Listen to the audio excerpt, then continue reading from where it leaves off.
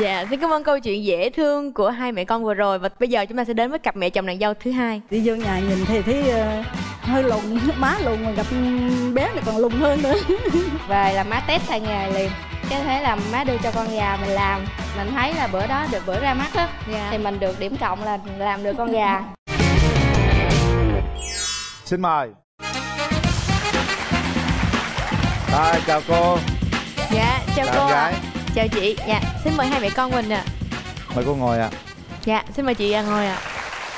Cảm ơn mẹ chồng nàng dâu đã tham gia chương trình. À, xin mời cô giới thiệu về mình. Tôi tên Quỳnh Thị Ngùng. Tôi ở ờ, Biên Hòa Đồng Nai. Năm nay tôi 59 tuổi. Ồ, Trẻ quá ha. quá trời trẻ luôn vậy đó. Dạ. Dạ. dâu.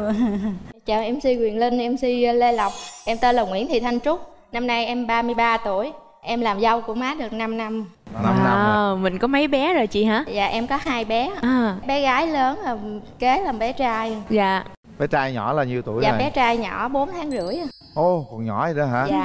Còn bé bé lớn? Bé lớn là 4 tuổi ạ.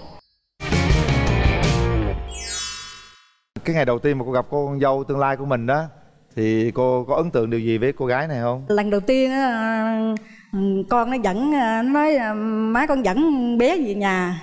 Rồi ờ, bé về thì vô nhà thì nhìn thấy mẹ cũng hiền với chào lễ phép. Đi vô nhà nhìn thì thấy thấy nó cũng hơi lùn hơi lùn. Nó nghĩ nó trời ơi má lùn mà gặp bé này còn lùn hơn nữa.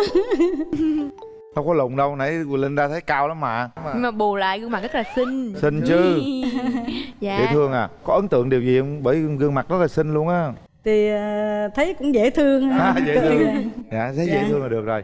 Còn không biết ờ, chị cô dâu này khi mà nhìn mẹ chồng á Có ấn tượng điều gì không? Lần đầu về gặp má thì mình thấy là má rất là hiền. Dạ. Với lại à, mình cũng hơi bất ngờ là về là má test tay nghề liền. Vừa vào là chào hỏi xong là má nói là con là gốc quê miền tây thì à, con có biết làm gà hay không? Cái thế là má đưa cho con gà mình làm. Mình thấy là bữa đó được bữa ra mắt á Dạ. thì mình được điểm cộng là làm được con gà. Wow. Còn điểm trừ á là sau khi ăn xong á là mình rửa chén xong là, là bị bể một cái chén nhưng mà công nhận à, gương mặt mẹ chồng em phúc hậu á. À, cảm ơn Linh. Nhìn cô rất, rất là rất là Dạ. dễ gần cảm giác rất là thân thiện Dạ. luôn á. Thành ra thấy chắc cũng không sợ gì mẹ chồng đâu. Dạ đúng rồi. Má cũng dễ gần lắm. Rồi sau đó về làm dâu thì sao cô? Về làm dâu thì ờ, thấy bé cũng hiền với làm chuyện nhà thì nấu nấu ăn thì cũng được.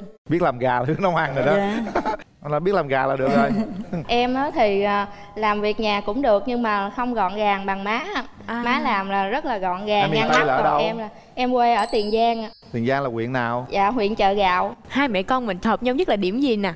À, hai má con mình à, là hợp nhau nhất là về ăn uống. Hai má con rất là dễ ăn. Ừ. rồi thêm à, chuyện là hai mẹ con hiền như nhau nữa nè. Dạ đúng rồi. Cười tươi như nhau nữa nè. Đúng rồi. À. thích đi mua sắm. Mỗi lần má đi chợ á cái má thấy là quần áo em bé nít đồ dễ thương là má mua về. Rồi mình cũng vậy mình cứ thấy đồ dễ thương là mình mua về. Mua đồ em bé không? Có mua đồ cho má không? Dạ có. Cô thấy mình hợp với cô dâu này điểm nào nhất cô? Bé nó ăn uống nó dễ. Dạ. dạ cũng lễ phép với nó chuyện hòa đồng. Dạ. Mình cảm giác có cái điều gì mình chưa hợp với cô con dâu không? Chưa hộp thì ờ, chắc cũng ít nữa. Thí dụ đâu? Chuyện Dạ. ít là chuyện gì đâu? Nuôi con lúc sinh con á. Mình ờ, nuôi con theo theo cách truyền thống còn bé thì nuôi ờ, cũng hi- hiện đại. Thành ra nó cũng không có hợp. Dạ. Có khi nào mà hai mẹ con mình trái ngược quan điểm nhau một cái vấn đề gì đó chưa? dạ cũng có. Dạ Ví dụ là gì như chị? là má thì là má chăm sóc bé nhỏ thì má lo từng ly từng tí. Dạ. Còn về bản thân mình á thì là mình muốn tập cho bé tự lập. Dạ. Để là sau này có thể mình đi làm hoặc là nếu mà mình có bé nữa thì bé lớn nó tự lập thì mình khỏe hơn. Trái ngược như thế mình làm sao mình hòa đồng giữa mẹ chồng với nàng dâu? Những lúc đó em thuyết phục mẹ thế nào? Em xác định á, là sinh bé đầu là em sẽ sinh thêm bé thứ hai nữa cho nên nếu mà bây giờ hoặc là nếu mà giai đoạn đó là em ra riêng á nếu mà không có má chăm sóc á, thì em không tập cho bé tự lập thì sau này em sẽ cực đó Ừ. rồi má thấy ờ, cũng được em á thì là thích cho bé đi ra ngoài nắng ngoài gió tập đi từ từ á Ừ. cho nó quen nắng gió thì nó tăng sức đề kháng còn về má em thì nó làm nít nhỏ thì nên hạn chế đi ra ngoài nắng gió rồi cuối cùng ai ai đúng? À, hồi xưa thì tại tôi nuôi con theo kiểu à, cha mẹ ông bà Dạ. rồi nuôi sao mình nuôi con dạy con theo vậy. Đến giờ thì ờ, khác thay đổi khác rồi thế nên giờ tôi cũng theo chiều ý theo con dâu. Cuối cùng là nhường con dâu đúng Dạ. không? Không chính là mẹ nói cũng đúng á vì con còn quá nhỏ dạ. Mình đưa ra gió nhiều khi trợ trái gió trở trời nó cũng Dạ. mệt lắm á có thể phơi nắng chút xíu cho có vitamin D thôi. Chung là làm sao mà để thuyết phục mẹ mà mẹ nhường lại cũng hay á. Dạ. Chứ tôi cũng ờ, cũng không có áp đặt gì con dâu. Giờ ờ, không có phải như hồi xưa nữa. Nay 40 năm rồi đến giờ nó thay đổi rồi. Có bao giờ mẹ chồng nàng dâu ngồi với nhau tâm sự chia sẻ với nhau những câu chuyện như thế này không? Dạ có. À. là hai má con em rất là hay nói chuyện với nhau. Cái này là hay nè. Dạ. Thật ra là thấy nó, mọi chuyện nó có kể thôi nhưng Dạ. mà nó bình thường lắm. nhàng giữa hai mẹ con mình có nhiều kỷ niệm với nhau không chị? Em nhớ nhất là cái lúc mà em sanh đẻ thì má là chăm em là lo từng cái miếng ăn. Ví dụ như má lên má nói hôm nay con muốn ăn cái gì? Thì má mua để đi chợ má mua về má nấu cho em. Rồi ví dụ như quần áo em sanh nở xong em bị phát tướng thì là má là đi mua đồ mới cho em mặc luôn. Ờ đã nha. Tôi thấy ờ, nó nó xanh này nó lên kiếu quá mặc ờ, đồ thiết chặt rồi thôi Dạ. mua ra chợ thấy mấy đồ rồi rõ thoáng thoáng cho dâu nó bận cho thoải mái ở nhà. Có giờ má la lớn tiếng với em không? Dạ chưa. Nhìn mẹ hiền vậy chắc cũng không có la nổi. Không có đâu. Dạ dâu này thấy thấy nó cũng hiền mà nó cũng lễ phép nó tôn trọng cha mẹ chồng chỉ có điểm nào mà cô chưa hài lòng ở chị không thì ờ, hồi xưa ờ, có chồng về thì bà nội với ờ, cha mẹ thường hay dạy về lo cho chồng con Dạ. từng miếng ăn với là quần áo rồi ra đường ăn mặc á, thì thấy con dâu thì nó nó nó hơi ờ, không có bằng tôi ờ, lo cho chồng con. Thì thế nó vậy thì nhiều khi cũng khuyên nó thì chồng đi mạnh rồi về lo cho nó ờ, cơm nước cho nó no này kia. Chuyện nhiều khi tôi tôi tôi nghĩ vậy nhiều điều tôi cũng suy lỡ là giờ là giờ ha, nó cũng ra ngoài xã hội nó còn đi làm. Thì ra giờ cũng thông cảm cho nó. Đúng rồi cô nghĩ gì đúng đó.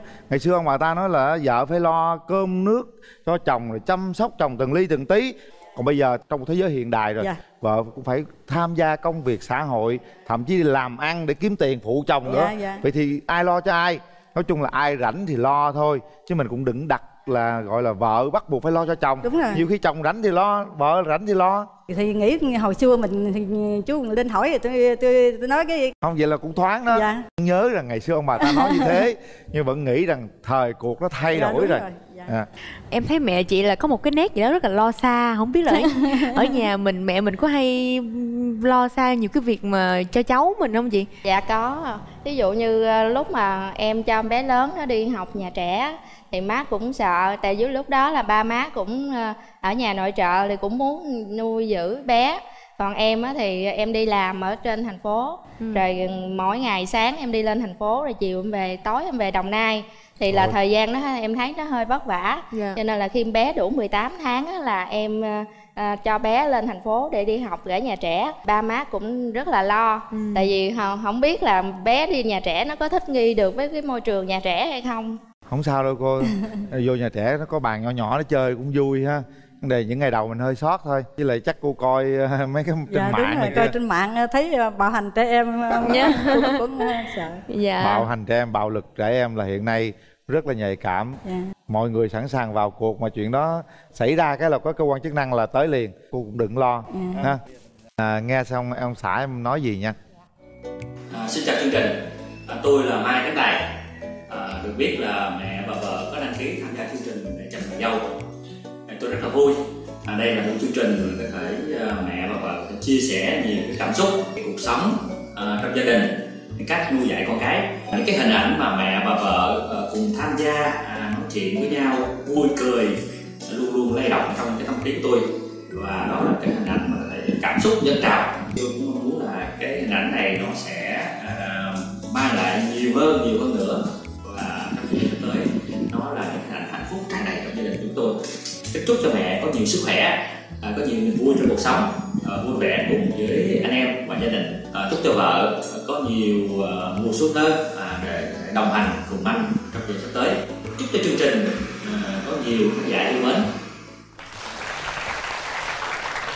Sau khi ờ, nghe ông xã chia sẻ vậy em có điều gì muốn nói không? Em cũng mong muốn giống như ông xã là mong muốn má luôn giữ gìn sức khỏe là để vui cùng với con cháu à. Cô có mong muốn à, gì ở con dâu mình không? Tôi cũng mong muốn cho hai đứa nó thương yêu nhau. Hai đứa được hạnh phúc nuôi con tôi cho hai đứa cháu tôi được ngoan hiền. Với ờ, nó làm ăn càng ngày càng tấn tới. Em có gọi điện người ông bà nội thăm hỏi hàng ngày không? Ừ, dạ không mà cái lúc đó là ông xã em gọi thì em kế bên em nghe thôi. Không mình phải chủ động gọi đi. Dạ. Ha anh nghĩ rằng á mẹ chồng cũng đang cần đó nhiều khi mình chủ động á sáng chiều kệ cứ hỏi ủa má ăn cơm chưa? Hay là má đang làm gì? Hay gì đó. Như người lớn tuổi người ta cần cái sự quan tâm đó. Dạ. Còn hỏi gì ta không quan trọng. Thế đôi cô có khi nào cô tự động gọi điện cho con dâu không? Cũng ít khi lắm dạ. phải không? Thấy hồi lúc ở chung á thì mình còn có sự kết nối cái tình yêu thương. Nhưng bây giờ á, là cả tuần mình mới gặp nhau một lần. Coi như là nó hơi xa rồi đó. Dạ. Cảm ơn cô rất là nhiều. Hai người rất là hiền nha hai người à, đứng kế bên đây nào trời ơi hai người ôm nhau cái coi dạ. Đã bao lâu không ôm mẹ chồng rồi? Dạ chắc đây là lần đầu tiên mới ôm. Trời ơi. thấy chưa? Nè thứ bảy chủ nhật á lâu lâu về trời ôm má trời sao nay má ờ, thon thon vậy á. Hôm nay má lên cân gì đó. Chính ra cái sự gọi là nũng nịu chút xíu với mẹ chồng á nó tạo thành một cái sự gần gũi hơn nữa. Nó sẽ vun đắp cho cái tình cảm mẹ chồng nàng dâu nó dày hơn nữa. Dạ. Nha. Ôm cái nữa ơi cô nhiều khi các cô dâu tự hỏi là đã bao lâu? Mình không hôn mẹ chồng rồi ta. Rồi cũng có nhiều bà mẹ chồng nói ủa đã bao lâu? Mà có bao giờ con dâu nó hôn mình không ta? Có không? Thấy chưa? Giờ hôn nhau một cái coi. Đó. Cần như thế nha các bà mẹ chồng nàng dâu trên toàn quốc hãy hôn nhau lâu lâu gặp hôn nhau một cái. Chứ hôn chồng hoài đôi khi cũng, ghen tị á. Dạ một kỷ niệm gửi tặng gia đình. Chúc cô à, với vai gia đình sức khỏe hạnh phúc và thành công. Con cũng thay mặt chương trình gửi tặng cô đó là món quà Ala Bio với thành phần 5 Ala được chứng nhận lâm sàng về hiệu quả tăng cường chuyển hóa đường thành năng lượng, giúp ngăn ngừa và hỗ trợ điều trị đái tháo đường. Còn đây là cân điện tử Yakio ạ. Còn đây là một năm sử dụng nước giặt xả đậm đặc thế hệ mới 6 trong 1 Care Sản phẩm được nhập khẩu trực tiếp từ Thái Lan bởi công ty THT Việt Nam. Care gắn kết yêu thương hương thơm còn mãi. Và một phần quà nữa đó là một chiếc Smart TV 32 inch trị giá 4 triệu 690 ngàn đồng của thương hiệu Akino của công ty cổ phần Phúc Ngọc Anh, sản phẩm công nghệ cho gia đình Việt. Xin tặng gia đình mình và cảm ơn cô và chị đã đến với tham gia chương trình ạ. dạ dạ chào cô chú dạ. dễ thương quá à ha Mẹ chồng hiền quá à. à, mẹ chồng hiền khô à cô dâu cũng dễ thương nữa Dạ một chút yêu thương sẽ đông đầy. Nhớ nha. Muốn có chồng cũng nhớ lâu lâu ôm hôn mẹ chồng cái nha.